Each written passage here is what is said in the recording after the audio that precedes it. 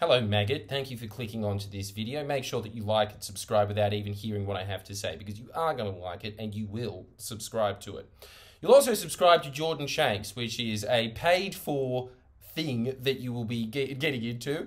And yeah, this is all hypnotic embedded commands, and I'm extremely confident that it'll work, especially because I fluffed up the line. That's always going to be a sign of guarantee, isn't it? You feel like a failure. That's why you clicked on this. And you have every right to be. I'm sure you are a failure. I'm sure you've actually successed. I'm sure that you've looked into your life very extensively and come to that conclusion.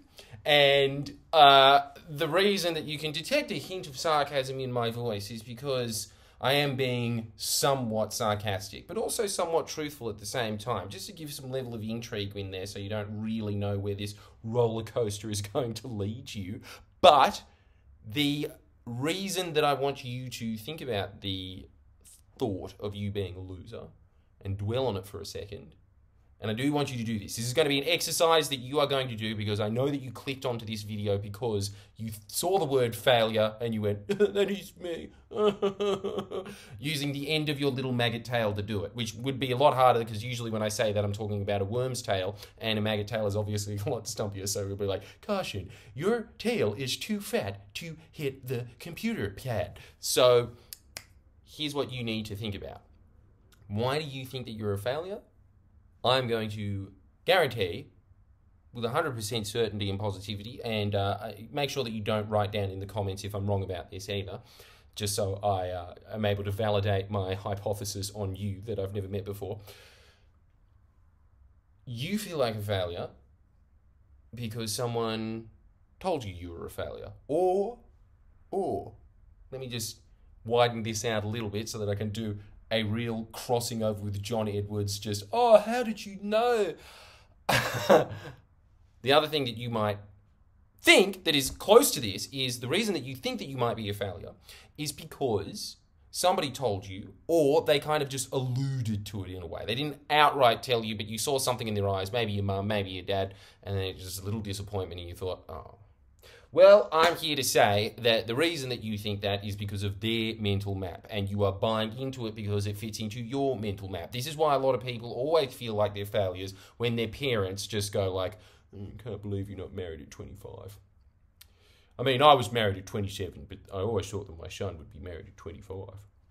And you don't have a girlfriend or anything like that, and you're a NEET and a virgin. And now that I think about it, yeah, you are a failure if that's the case. And you're never going to get any better either. It's just all downhill from there because you just peaked mentally. Oh, I think maybe you're 26. Oh, there's one year left. Maybe you can do it. Uh, but yeah, people are going to feel like they're failures because of those reasons. They're usually going to feel like a failure because somebody else talked to them about it. Let's just talk for a second about the concept of mental map. A mental map, the reason that most boomers, uh, as you people on the net call them, and I do call them that frequently as well because you have infected me cancerous dog. And the reason that boomers usually say these kinds of things about why don't you have this job at a bank? Why don't you work for this gas company? The most evil jobs you could possibly get, usually to boomers' mind, success. They might not think that the actual industry itself, I really don't like that when people say, oh, uh, I'm just working for it, man. Like, you can't. No, I, I think you're a bad person. I do. I honestly think you're a terrible person if you work for one of those industries. Because the whole thing is, first of all, you are not living up to your potential. That's the first thing that I will always say about people that are even one of these evil jobs. It's like, you could be doing something that you would be making more money in anyway. You just chose the easy way out because they have endless amounts of money to just catch whatever small capital they have, and then they're just like, yeah, you're good at figuring out where oil is. You're going to do that on this computer for the rest of your life. Where you could be figuring out where water is for African people. Hmm. now I'm calling you a failure. You didn't come onto this. I'm sorry. I didn't. I don't know. My, my mind's there at the moment, but yes, we'll, we'll go back to that. We'll try and make you feel better for a second. That's probably a good idea so that you can actually come back.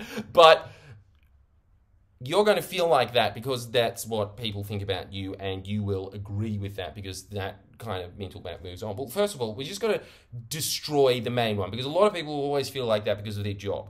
The reason that you feel like a failure is because you are not in the societally deemed jobs that are great.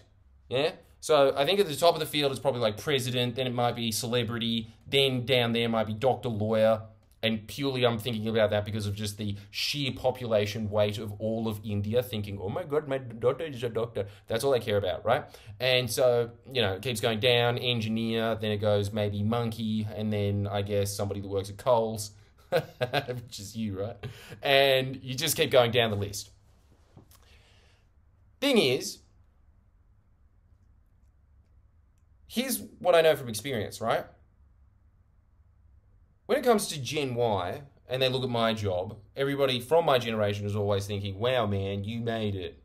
Or they're being very jealous and saying snarky things. Usually it's actually the second one. But if they're being positive about it, they'll say that. No boomer ever thinks that what I'm doing is good. Never. Uh, some some people's mums might, but anyone in my circle always thinks that that what, what I'm doing is pathetic, right? And the reason they think that is because their mental map has not changed from that 60s plastic fantastic. If you the only reason that you're ever winning in life is if you are in a suit and you've got a white picket fence and then you come home to wifey and you've got 2.5 children. I think that's it. I can't remember what the exact specific, maybe it's 2.7. Who knows? I don't know how you have a 2.7 or even a 2.5 of a child, but I guess one of them is just for whatever reason has no legs. And that's how they think that the world works. All I'm saying is that whenever anybody thinks that you are a failure in life, then you will start thinking it, first off. So this is usually just a socially constructed idea. And they will think that you're a failure because you are not ticking their criteria that was instilled in them. This is the tricky part that was instilled into them from other people, from other mm, let's let's call them cultural narratives or social narratives that exist. And those social narratives are then just put into you, and then you think, oh, okay, because I'm not a lawyer, I'm a failure. Well, I've got to tell you from experience, there are very few lawyers that are good people anyway. Most of them just work for evil corporations, and they're just a glorified coal miner, really. In fact, they're much more damaging to the world than a coal miner is, right? But then the second thing is, uh, okay, you're not fitting their mental map. Does that mean that you're a failure? Think about it. Okay, maybe monetarily, you are not making 100k a year. But I bet you that there is a bunch of skills that you have that, first off, the fact that you are not making that 100k in the first place, because if you are making that 100k, the person that is making that 100k, that is giving you that 100k, wants a serious return on investment for that level of investment obviously. And you know what that level of investment usually is? You're usually in the corporate world. And if you're in the corporate world, what are you doing? You are working 15 hours a day. Maybe you're making a little bit more. Ooh, 120 grand a year, 130. Yeah, that's definitely worth your entire life. You don't even have time to spend the money. You can get fancy Uber Eats. Mad. The Thai restaurant that has a five star review instead of a 4.5. That was that was definitely worth your entire 20s. I think you are not utilizing all that's happening when someone calls you a failure is that you are not utilizing your specific things that make you you. So let's just do this experiment for a second. This is a thought experiment that I like using a lot. Usain Bolt.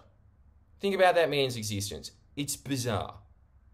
How is this eventuated that somebody is a multi-millionaire for running specifically 100 meters really quickly? Be like, Nothing is impossible. Yeah. That's all he does. That is what he is good at at life. No one can run 100 meters exactly as fast as he can. Someone can do it a little bit less, and therefore they're not a millionaire. Harsh but true, right? Well, that's sort of you. You will be absurdly good at something that is absurd.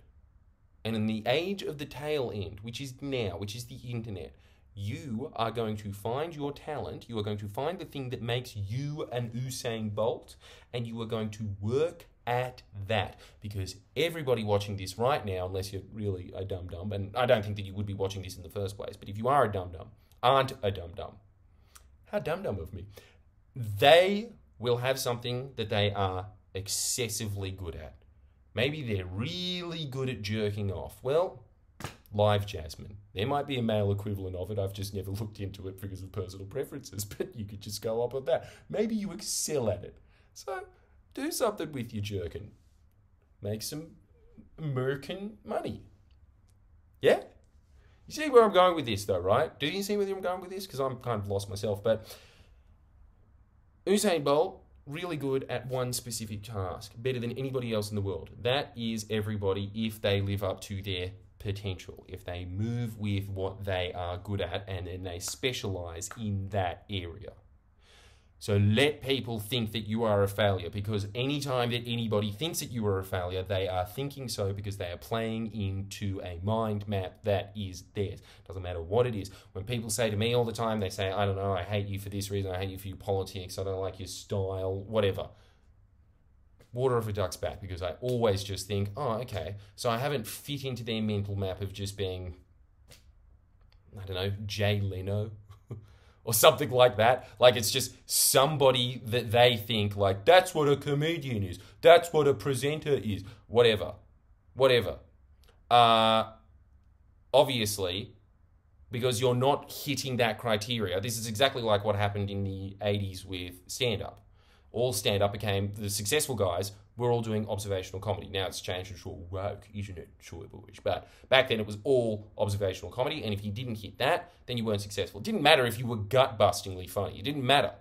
That did not matter. People would walk out of the cinemas, uh, uh, sorry, the, the stand up clubs, and they'd be like, I liked the observational guy with the rolled up sleeve shirts because it reminded me of something that I saw on television. That idea was impressed into their minds. That's what normies think. You have to divorce yourself from that idea. You, every time somebody thinks that you are a failure in life, the only question that you should be asking is, Am I actualizing myself? Okay? You should even be writing that down. Write it down in your notebook. Am I actualizing myself?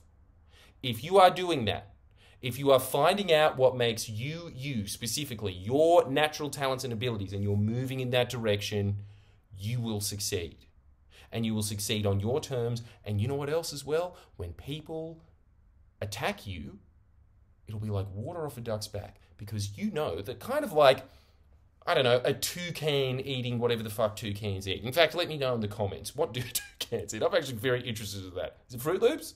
I'm pretty sure it is because of my mental map. So I want you to write down if you're actualizing yourself in that direction? Do you know what makes you an Usain Bolt? If you don't know what an Usain Bolt is, this is a nice little tip that I always like to think about. What are people always giving you compliments about? You write down some of those. Anyway, if you like that, make sure that you sign up to Jordan Shanks. If you sign up to Jordan Shanks, you'll be getting valuable reminders like that all the time to actualize yourself, to stay on message, because this is the whole thing. You're going to watch this and then you're going to forget it, and then you're just going to feel like a failure, and it's going to take two days out of your life. I can fix that very quickly. There's so many videos behind that that'll give you unlimited advice in that field and it'll be like, hey, reminder, get back on track. And when you get back on track, you've saved yourself two days of feeling like crap.